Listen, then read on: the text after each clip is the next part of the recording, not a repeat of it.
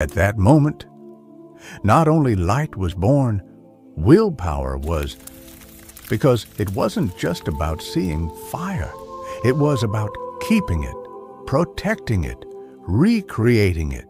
The flame was no longer nature's alone. It belonged to humanity. It wasn't just warmth. It was time extended, night illuminated, thought awakened. Fire changed the body, the mind, and the story of humankind. Science tells us this wasn't a myth.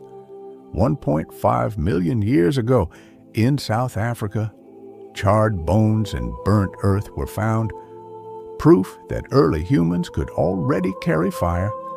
Then, 780,000 years ago, traces were found in Israel.